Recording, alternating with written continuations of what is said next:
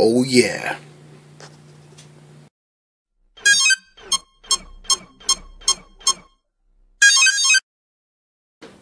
What's up, guys? This is ACE from NYC, Draven3907, bringing to you another vid.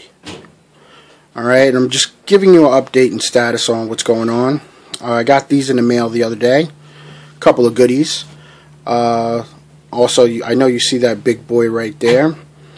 Uh, before I get started, I want to let everyone know right about now you'll see the shout out new shout out system that I have on the upper left corner. Uh, shouting everybody out on there. So when your name pops up, you know, hit like, comment, rate, subscribe. You know what to do. Um, so here we go. These two products, you know, I'm gonna hold off to. This I cut open already.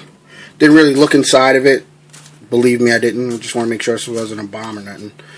Just joking. I knew it was a package, but I didn't have time. I had to leave. I had a client to meet up with, so cracked it open, but I didn't really get the chance to look at it. Alright. Let's get that out of there. Okay, what is this? Oh, this is nice. And this is definitely from Max Amps. I could have told you that. Nitro Killer. Wow, 70 mile an hour club. Uh, thank you, Josh, for Max Amps. Holla at your boy. Alright, so that's the 70 mile an hour club. Got some uh, Max Amp stickers. Oh, I'm going to do a nice car. Simple, but I'm going to do a nice car, especially with these colorful ones. Thanks, Max Amps. Thank you very much. And let's get this bad boy out. Oh. 100 mile an hour club. Another Nitro Killer shirt. That's hot. That's hot. Thank you once again, Josh from Max Amps. That is hot. I'm definitely rocking this. All right. Let's get this out of the way. And let's get to the other goodies. All right. Now with the Mamba XL2, what I'm starting to see is a lot of videos on it, but nobody's really giving a, a real description on it. I know you can go to the website and look up for information, but some people like it verbally, you know, and people like when you open it up with them and, you know, explore certain things with it. So let's take a look at this thing. All right. It is big. I'll tell you right now. This thing is huge. Alright, shake that off. Sorry, Mamba XL2. The first thing I did notice about this is look at that 8S LiPo, 34 volts max, and 5 amp BEC. So, knowing that right there, just off the head, that'll let me know now that if anybody's just running a tra- uh, stock Traxler, Traxxas Rustler servo, steering servo, and receiver, you really don't need to get an external BEC. It has an internal BEC that regulates it to 5 amps, so you will not fry your servo or your receiver. Okay? So that's something that um, is good to know. What I do notice is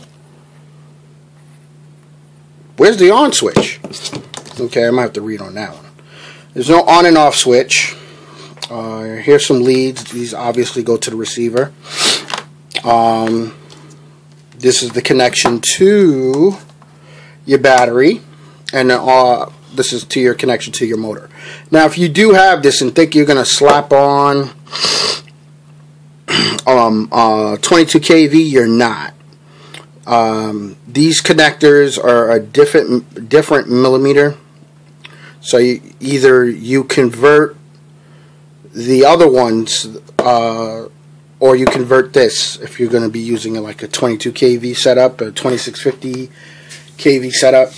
You switch these connectors. All right. Um, now, if you if you're not using uh, stock servo and receiver, you will need an external BEC. Okay? And the one to go with will be uh, Castle Creations BEC Pro. Okay? And this is a high voltage uh, BEC, which is pretty good. Let's see if I can pull this out with one hand. Drop. Oh, there we go. Here we go. Now this bad boy, and it looks confusing, I know it does. Um, you can regulate this from 20 amps uh, max output. Uh, this thing can uh, take up to 12S, which would be 50.4 volts max input. Uh, you can regulate it, and it's adjustable output from 4.8 to about 12.5. Um, so that's good. Most the most Traxxas uh, products are using about five. So you really won't really have to adjust it. It'll already have it there. But if you are using a different type of servo, like a Savox, okay, I bought this at my local hobby store. This amperage is, you can't see because it's small, I'll just tell you, it's 6 volt. So it's going to drain. So what I want to do is, so I don't short anything out, I want to put the external BEC, plus I'm running 8S. So I don't want to short anything out, so I'll definitely use this. It's not just about what you, uh, it is about what you, what lipo pack you are putting into the ESC, it's also what's coming out because that it's always the littlest thing that always shorts out. I used to have a problem back in the day with the Castle fans on the old uh, Mamba Monster, the external Castle fans that you put on the motor.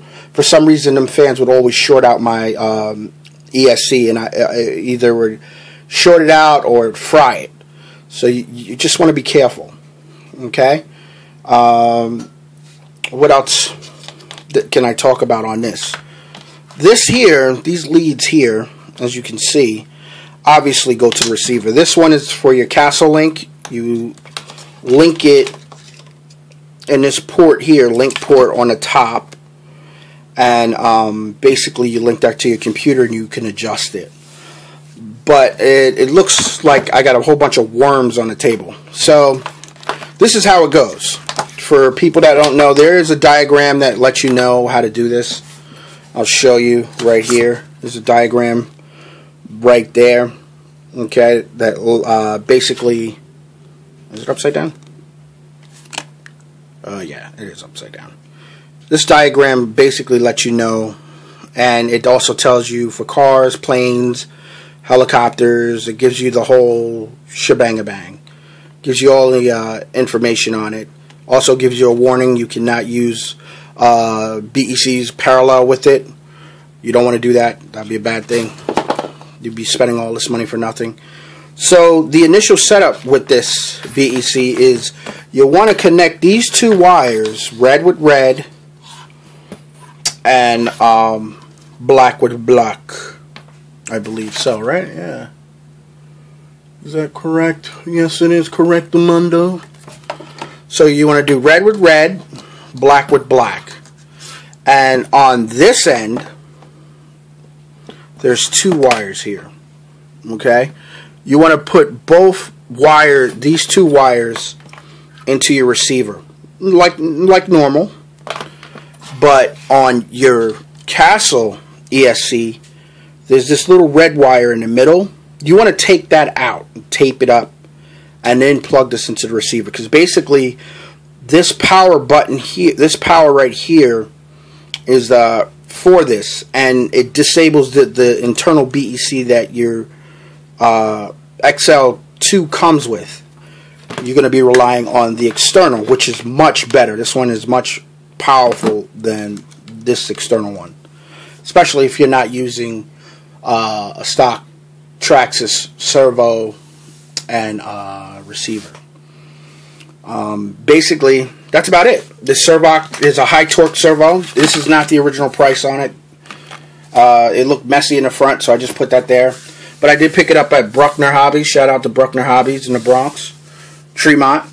What's good? You know, shout out to Danny. Uh, Felix. All those guys. Um, so my new setup and basically what I'm going to be doing is well, it speaks for itself. You see that Mamba XL2, you know where it's going. It's not like, oh, Draven, I don't know where it's going. Why would you get 8S? Oh, you know where it's going. What kind of new car you do? No, no. You know where it's going. So I don't have to say anymore. But I, I just wanted to take the time and um, educate the people that are not educated. I'm not the best but give you some type of idea. I don't want to give you false information, and I don't want you to buy this and not know what it comes with. You got to do your own soldering, obviously. If you want to change these wires, because this is 8, 8 gauge, you got to change, you know, the wiring here. Um, and uh, for me, I'm going to do that because I'm running a 22 uh, 100 kV. I'm not messing with the 1717 motor or anything else bigger than that. You know, I'm loyal to the 22 kV, 2200 kV motors. So um, this is it. All right. Shout outs to everyone on the YouTube circuit. Uh, did I get any other? Uh, did I get some stickers from Castle? They being cheap. Hold on. Oh yeah, I did.